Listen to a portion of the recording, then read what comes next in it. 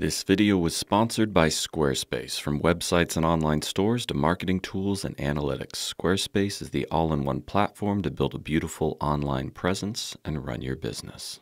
Previously on Building a Treeless Treehouse, Jason came up with a design for a treehouse without a tree. And then to take it one step further, he cut down trees, so there wasn't even a chance of putting it in a tree. Then him and Craig mapped out on the ground with some strings and a tape measure and some stakes where it was going to go. And they used some marking paint to pretend like they knew what they were doing. Then, because they were lazy and didn't want to dig holes themselves, Jason rented a skid steer with an 18 inch auger. But he made Ivor drive it for him because he didn't know how. And they dug a bunch of 18 inch holes for footings. Well, they were 18 inches wide and about four feet deep. Once they were dug, Jason filled the bottom with about a foot to a foot and a half of gravel, and he made Craig tamp it down with his feet. Then he got some sonotubing and crawled through it to make sure there wasn't any blockages. Then he had craft time in the shop building some cool things out of rebar, and he stuck his head down in the bottom of a hole. It was a low point for him. Pretty soon, some guys in a big concrete truck showed up and offered to pour concrete into the holes that they already dug. So they did that. Filled up every hole with concrete, and Jason made Ivor do all the grunt work to get it all nice and level. With the footings all poured, Jason made a border around the entire structure with old railroad ties and ordered a buttload of wood chips so that he could make it look just like a playground, which he did. Again, that was last week on building a treeless treehouse. Now on to this week. All right, now if last week I didn't know what I was doing pouring these footings, this week I really don't know what I'm doing, and that's to start making this thing go vertical. Now the first thing we needed to do was add these Simpson strong ties so that we could anchor our post into our concrete footings. I believe these are the Simpson strong tie ABU 66Z. The Z stands for dimensional lumber. I don't know why it's a Z and not a D, but you can also get a 66R, and that's for rough cut lumber. Basically, because our posts are dimensional, they're not a true 6 by 6 they're 5.5 by 5.5, so we have to use the Z, where if you were using rough cut lumber, it'd be a true 6 by 6 so you'd use the R. But that's more information than you need to know about these strong ties. The point is, we used them. But before we could anchor them down to our footings, I had to map out exactly where they needed to land according to my SketchUp drawing. And I also had to make sure everything was nice and square. So I started by just taping a string line on top of one row of footings and marking where I wanted each footing to land prospectively in line with my SketchUp drawing. And then I did the same thing over on the other side so that I basically had two parallel lines. It's not hard to get two parallel lines because you just measure the distance in between both lines at each end and you know they're parallel. The trick is getting four lines that are perfectly square to one another. So that took a little finagling and some measuring diagonally from corner to corner, but I was able to get a nice square box eventually made out of string so that I knew I could land all of my little strong tie anchor thingamawhatsits in place and that my structure would be square. Now that I had the line square, I could use this kind of crosshair that it created on the footing to land dead center where I wanted the center of my post tie to land. Then I just marked the center of each remaining metal bracket on all the other footings. I just used a Sharpie. I don't know what else you're supposed to use to mark concrete. I mean, Sharpie worked just fine, so that's what I did. Then to make sure that my brackets themselves would sit square to one another, I measured the middle of each bracket and I added a little Sharpie mark. Now I don't know if this is the right way to do this, but it worked. Then I could lay the bracket down on my string line and make sure that those marks were on the string on all four sides. This made sure that my bracket was perfectly square. Then I traced out the outline of the bracket, again using the Sharpie marker, so that I would know exactly where the brackets needed to go once I added my anchor bolts. See, nice little outline, so I should be able to plop them back in place and know that they're all square.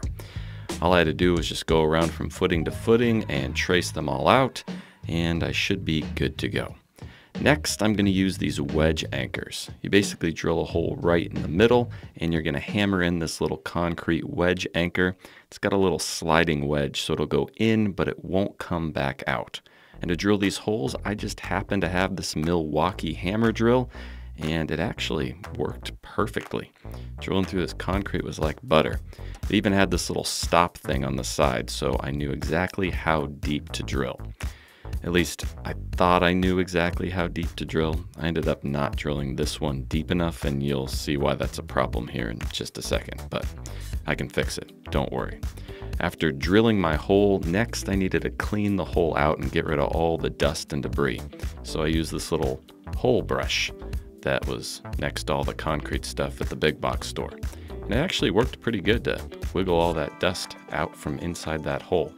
Next, I used some Simpson Strong Tie concrete adhesive to set these little anchors in, and I took a sledgehammer and I started pounding that thing in. Now, if you did this right, you should just get a little squeeze out of that adhesive right at the base of the anchor. Then you just put your post base on there and you use the little square washer that it came with to hold it nice and snug. I also used the washer from the concrete anchor because I like to overkill things. And I used a socket to really tighten that nut down. Now this is where I made a mistake. This little plate is supposed to sit on top and it's supposed to give a one inch gap from the base of your footing to the base of your post so that the post never sits in water and rots. But because I didn't drill my hole deep enough, it wouldn't sit flush, so I had to cut that first bolt off. But for the rest of them, I adjusted my drill and made sure that I was drilling my hole just a little bit deeper, and it worked great from that point on. And in no time, I managed to get all these post bases securely in place, and we were almost ready to go vertical. And when I say almost ready, I mean after I drilled 13 more holes. There's a lot of them. The next morning, Craig showed up and I was happy to have his help. Now to attach these posts to the post brace, it's pretty simple. We just set it in place and then I had Craig throw a level on both sides just to kind of get it close. There's still going to be a little give. And then there's holes in the post brace for a 10 penny nail. So I just hammered a few nails to hold the post generally where it needed to go and make sure it wouldn't fall over and kill Craig or I. And then I came back with a half inch drill bit. I drilled halfway through on one side and halfway through on the other side in both the top and bottom hole. And then I took some big beefy half inch bolts and I hammered them all the way through. This really anchors that post to the post brace, which is anchored to the footing, and it keeps it from going anywhere. Unfortunately, we couldn't get the right size bolts, so these ones are a little longer than they needed to be, but that's okay. We'll trim them down with the Sawzall when we're all done. After we hammered both bolts through the bottom of the post, we slid on our washers, put on our nuts, and tightened them down. And then, like I said, we trimmed off the excess with a Sawzall, so nobody would catch an ankle on it and blame me for it later. And then if you've hooked one pole down, I mean, it's pretty much the same story for the remaining poles. You just slide them in place, hook them in with a few nails to keep them from falling over. We eventually just hooked all the poles in with nails and then came back through and drilled them out. That way we could get a little rhythm to our madness. And it was nice because I didn't even have to carry the posts. I made Craig do that. I mean, that's what employees are for, right? Doing all the stuff you don't want to. I'm just kidding. We took turns every other because these 6x6 posts were friggin' heavy. And Craig didn't even help me line this one up. Here I am struggling by myself, and oh, there, now he decides to help. Thanks a lot, buddy. Glad you got my back. Pretty soon we had all of our posts in place and secured down with those post bases, and it was time to start building the framing for our decking and different levels of the treeless treehouse. By this time, Craig had gone home. Apparently, he's got certain hours that he works during the day, and once he reaches those hours, he's out of there. But that's a story for a different time. My family, however, was around to lend a hand where I needed it.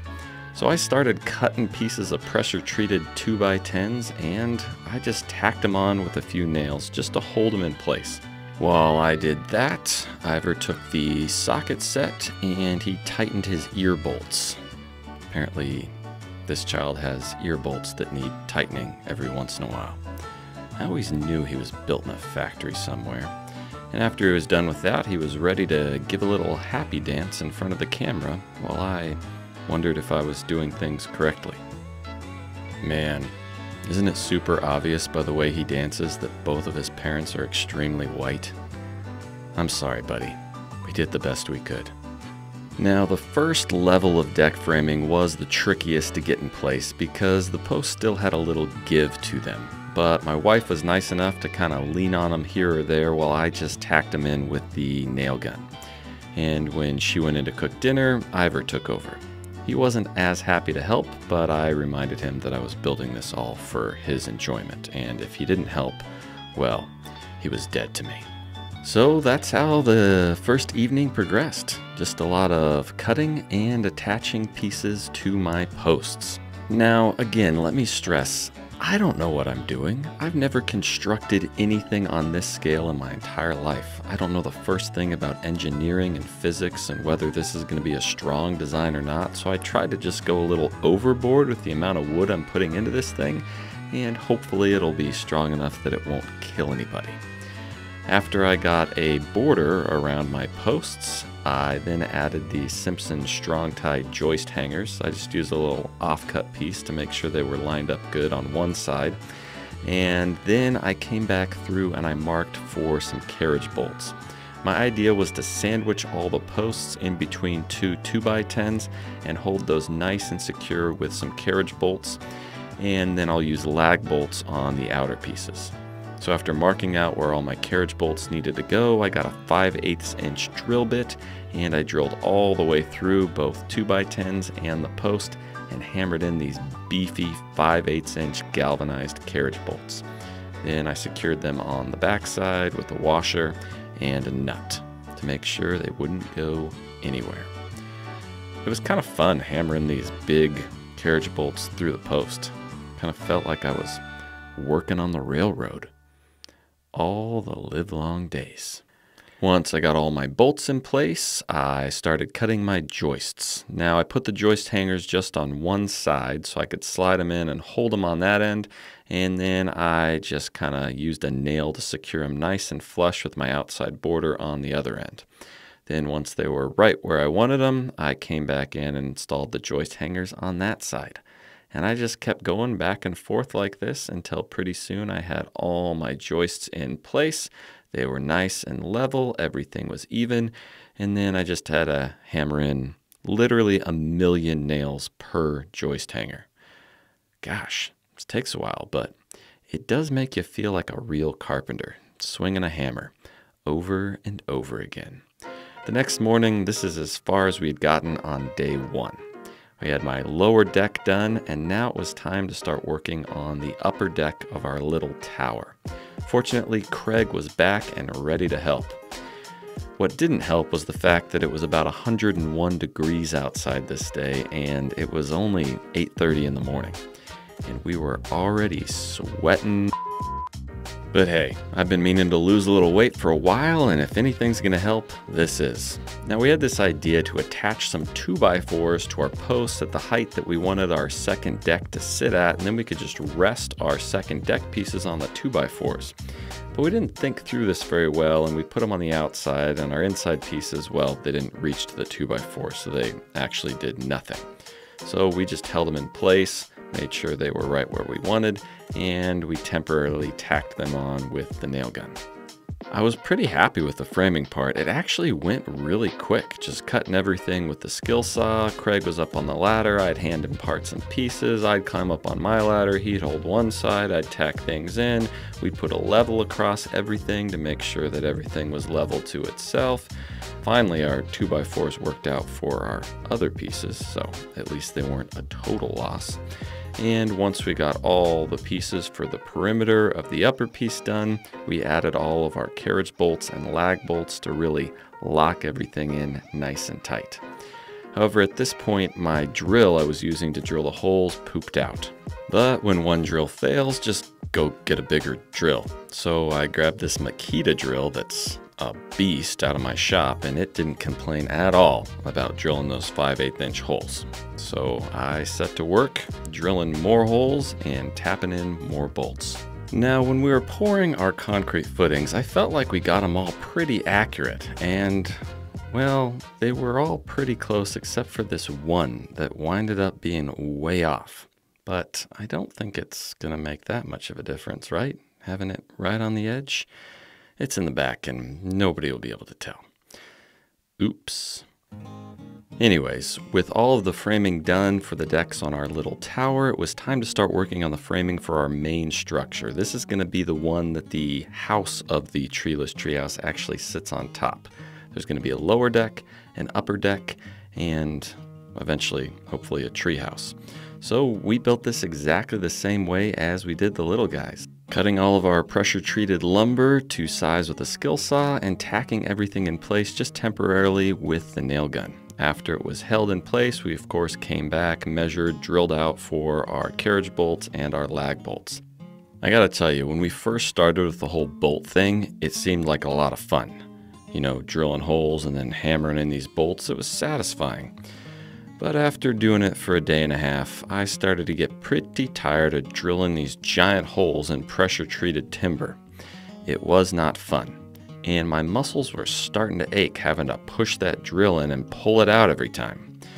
But I guess this is what real work feels like, and everybody should do it at least once in their life. This is my penance. I just kept telling myself it's all going to be worth it in the end when I have a treehouse that I can play in. Well, and Ivor can play in sometimes when I feel like letting him. Well, hey there, guys. This video is sponsored yet again by one of our favorite sponsors, and that is Squarespace. And the reason I love Squarespace is because we use Squarespace. What a coincidence. Ever since I started my very first business when I was a kid selling cherries, I used Squarespace. That's a lie. The internet wasn't around yet. But when I was older and needed to build a website, Squarespace made it incredibly easy. You can get on and you don't even have to know anything about building websites. They make it so simple to build a professional looking website on your own with all the crazy tools that you want and need. Come check this out. I'll show you what's up.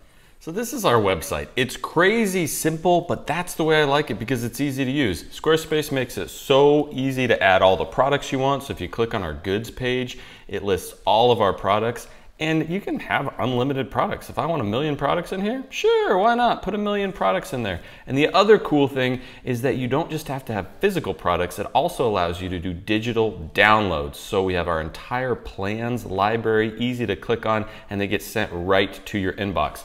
The other thing I love about Squarespace is it's mobile optimized. So the website looks great on a computer, but you switch to your phone and it looks just as good, super simple to navigate. You can have it on your phone, your computer, your tablet, whatever the heck you want. We can buy our domains right through Squarespace. We can get mailing lists and send out newsletters. I mean, it's all right here at our fingertips.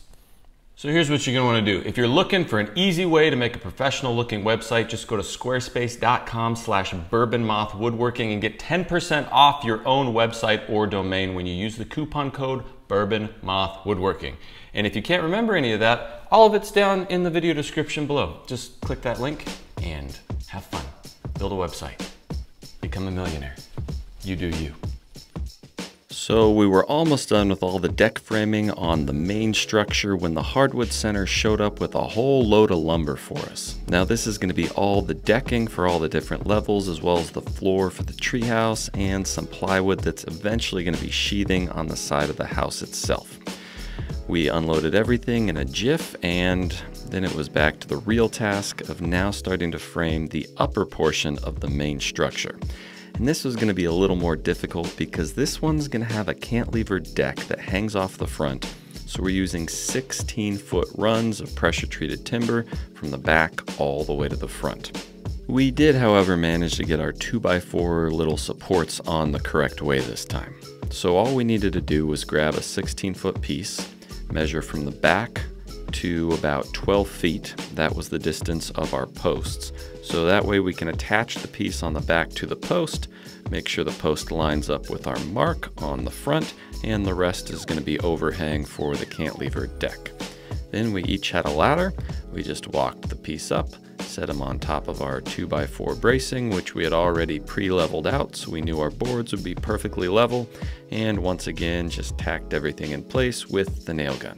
Once we got the back of the board tacked on, I came to the front and Craig pushed it to the correct place right on our line and we tacked that one in place and then all we had to do was measure the distance between both posts, make sure that other post was both level and an equal distance from the front to the back and we secured that with a few nails. Once we got pieces on both outside posts, we decided to hook the back brace on. This way we'd have something to kind of butt all of our joists into and make sure they were all even across the back. So we hooked that one on the back and we just kept throwing in these 16 foot brace pieces, sandwiching those posts in between, and hopefully this will be nice and strong but probably not as strong as the smell that was coming off me after working all day in 100 degree heat. At the end of day two, I was pretty disgusting. The next morning, I came out and it was time to actually secure everything in place with our bolts. So I started drilling holes and Craig started hammering in those bolts.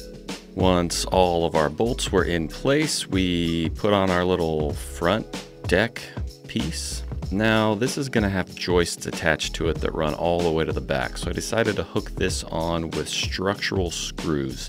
Each screw is weighted for like 600 pounds and we put a ton of them in there, so hopefully it'll be okay. Next, we started adding more joist hangers up on the top and started sliding in our joists from front to back. This is actually pretty fun and satisfying and went pretty darn quick. We just had to cut them all the length and plop them in place. You know I love a good plopping. The most difficult part was just climbing the ladder in unison to get them up and into those joist hangers. But hey, at least it was 100 degrees outside, so it was fun. Alright, I promise I'll stop complaining about the heat.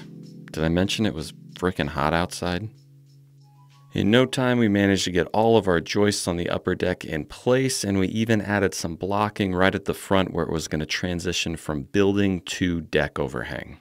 And then probably the most satisfying thing was to go around with the sawzall and chop off all the excess on our posts. I thought about cutting these all to length before we put them up, but then I thought it'd be much easier to get everything level with a little extra room to work with, and I could just come back and chop them off later. So I did, and I finished up the following morning. I tried to beat the heat. It was 6 o'clock and I was out there working, and it was still about 85 degrees. You just can't win, can you? The next morning, Craig was gone and it was back to me working all by my lonesome. But fortunately, all I had left to do on the actual framing was the joists on the lower deck. So after getting all my joist hangers in place, I just cut all my joists to size, and it only took me about 10 minutes to slide them all into place and then probably another hour to go back and add the million nails per joist hanger that is required to secure them. But I was wearing a tool belt and that made me feel like a real construction worker, so that was an added bonus. Next, it was time to start laying our decking. Now for the decking, I'm gonna use this New Zealand pine. This stuff is vertical grain and it's vacuum sealed with the finish and antimicrobials and anti-rot and all this stuff, so it's supposed to last for flippin' ever. All I had to do was put it down on my framing.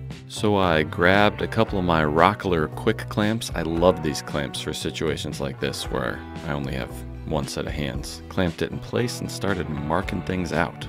So I just marked where my posts were with a pencil and a square, and I cut out that shape with the jigsaw, and I slid my first piece on there.